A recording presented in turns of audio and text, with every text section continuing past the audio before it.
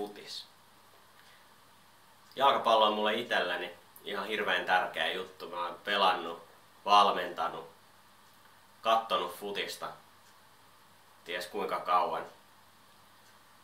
Yleensä mun viikonloput futiksen parissa menee näin.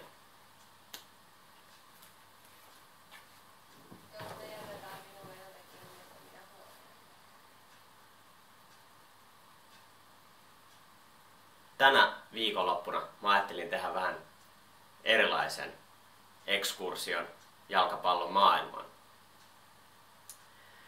Suomi jalkapallo, Veikkausliiga, Ykkönen, Suomen maajoukkueen pelit on sellaisia, että väli tuntuu, että ne, niiden arvostus on aika pientä. Ainakin pienempää kuin mitä niiden sen pitäisi olla ainakin tällä kaudella on ollut ihan sairaan mielenkiintoista seurata, miten eri suomalaiset futisjoukkueet, futisseurat pelaa. Vaikkei hoiko tällä kaudella päässytkään mestareiden liigaa eikä Eurooppa-liigaa, niin silti tämä kausi on ollut kyllä todella kiinnostava Suomi-futiksen kannalta. Veikkausliigassa kolme joukkuetta, ROPS, SJK, HJK, on taistelemassa Suomen mestaruudesta täysin eri tavalla kuin mitä edellisillä kausilla. Tällä hetkellä kaikilla noilla kolmella joukkueella on mahikset vielä voittaa Suomen mestaruus. Sen lisäksi Veikkausliikan häntäpää on tosi tiukka. Siellä kolme joukkuetta on putoamisvaarassa, mutta kaikilla on vielä mahikset kuitenkin välttää se putoaminen. Ja ykkösessä vuorostaan itse asiassa tämä peli, mitä me menen tänään katsomaan, on ykköstä. Menen Myyrmäkeen Vantaalle katsomaan PK35 ja TPS välistä ottelua. Ja siinä panokset on tosi suuret. Nimittäin nämä joukkueet pelaa siitä, että kumpa pääsee karsimaan veikkausliigapaikasta. Tämä on myös sen takia kiinnostavaa, että ne pelaajat oikeasti pelaa tulevista työpaikoistaan vaikka Suomi ei nyt päässytkään EM-kisoihin, niin silti tää, tässä, tällä kaudella on Suomi futiksessa kyllä tapahtunut tosi paljon ja kiinnost, tosi kiinnostavia asioita. Mutta tästä lähdetään nyt ekskursiolle kohti Myyrmäkeä.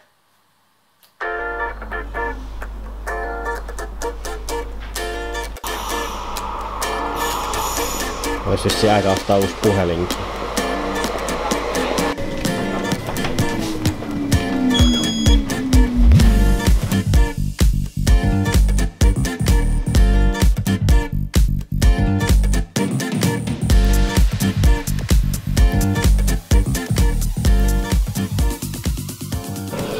Nyt ollaan täällä Myrmäki stadionilla. Jengi on jo aika paljon.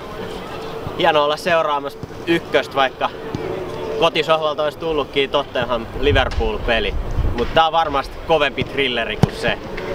Saa nähdä miten tässä käy, kumpi nousee tai pääsee nousukarsintaan.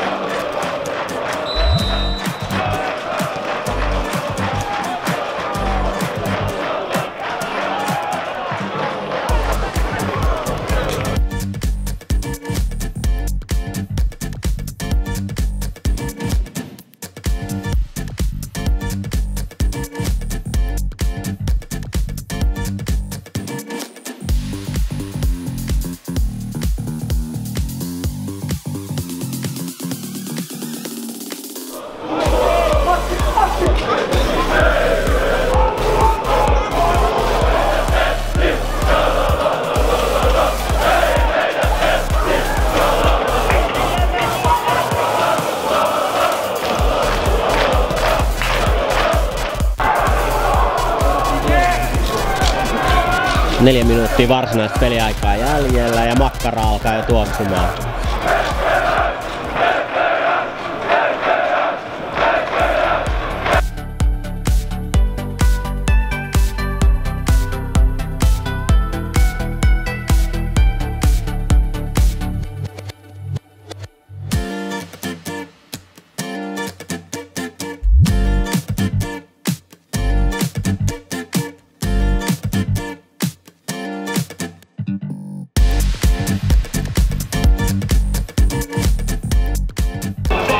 On puoliajan helmi. Grillimakkara. Tän takia puolet jengistä tulee katsoa näitä pelejä. Ihan parasta.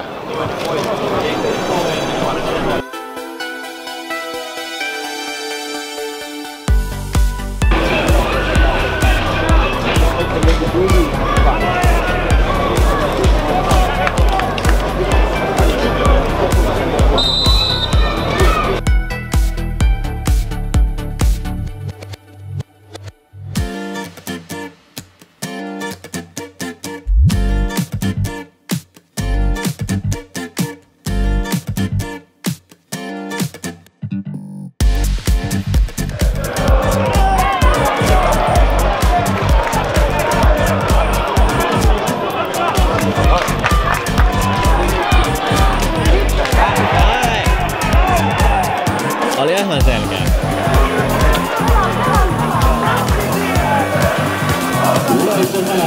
Tässä ottelussa 1876 katsojaa. PK35 osaa kiittää.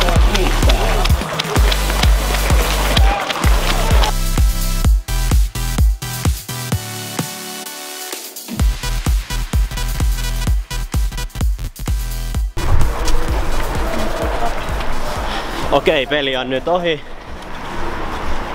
0-0 lopputulos. PK 35 näyttää nyt pääsevän karsimaa liikapaikasta. Nyt on ihan jäätävä kiire, koska pitää nähdä toinen puoli aika Liverpool Tottenham pelistä. Täytyy sanoa, että hyvät asiat tuossa pelissä oli makkara ja Tepsin faneilla oli ihan jäätävän hyvä meininki siellä, niin pajat lähti pois tällaisessa kylmässä syyspäivässä. Mutta seuraavan kertaan.